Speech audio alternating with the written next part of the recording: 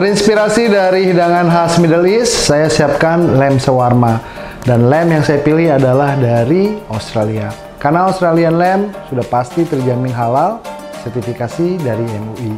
Dan konten nutrisi kandungan di dalam lem ini benar-benar aman, sehat, dan bagus untuk kita mengkonsumsinya. Oke, kita akan siapkan sekarang ini ada rempah-rempah bubuk yang kita sudah siapkan untuk menjadi ciri khas aroma dan flavor Middle East.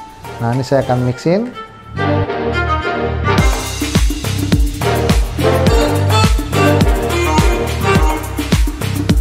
Oke, ini kita akan taburkan ke dalam sini dengan yogurt. Taburkan semuanya ke dalam.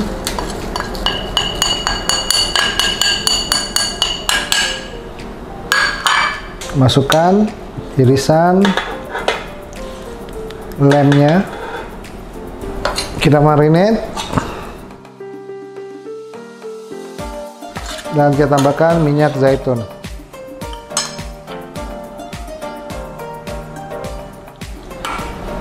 Oke sekarang saya akan tuangkan minyak ke sini.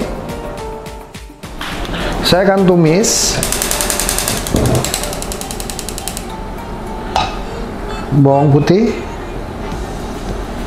dan bawang merah. Oke, nah jadi biasanya shawarma itu akan disajikan dengan tahini, sumak, terus lot of parsley. Tapi itu uh, sangat rekomendasi sebetulnya. Tapi saya coba untuk bisa akomodasikan yang biasanya hanya ada bahan di rumah. Jadi saya uh, tambahkan uh, sedikit mayones, dan irisan bawang putih yang akan kita folding ke dalamnya. Tapi saya udah tumis sedikit supaya nanti dia lebih uh, balance lebih light. Terus kita akan sajikan dengan irisan romaine lettuce dan tomato segar. Dan pastinya harus ada pickle cucumber. Jadi ada acidity juga ada asam ada crispiness dari fresh vegetable. Oke okay. nah ini saya tumis saya cuma mau dapetin aroma bawang di dalam minyaknya dan bawangnya akan saya iris nanti karena kita akan sajikan di dalam flatbreadnya. Oke udah cukup. Kita angkat.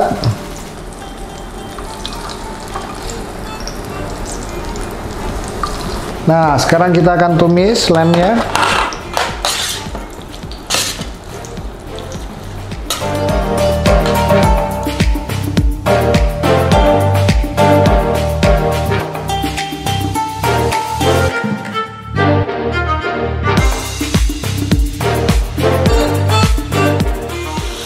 Nah, karena ini domba Australia, udah pasti dia tender dan juicy, jadi kita masaknya juga jangan terlalu lama. Sebentar aja kita udah dapetin tekstur daging yang lembut.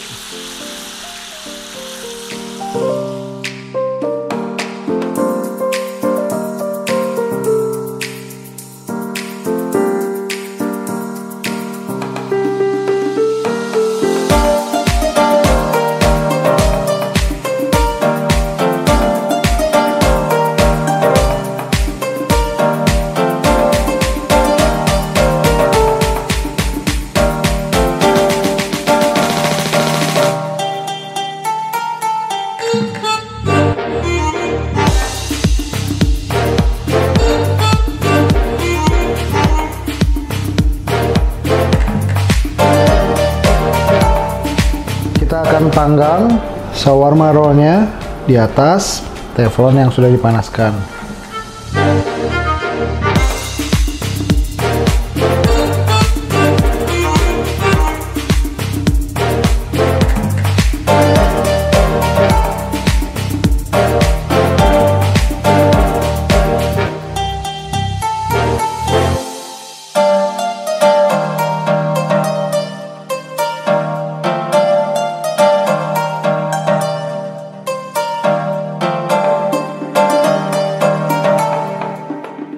Lem sawarma ala Chef Chandra siap disajikan.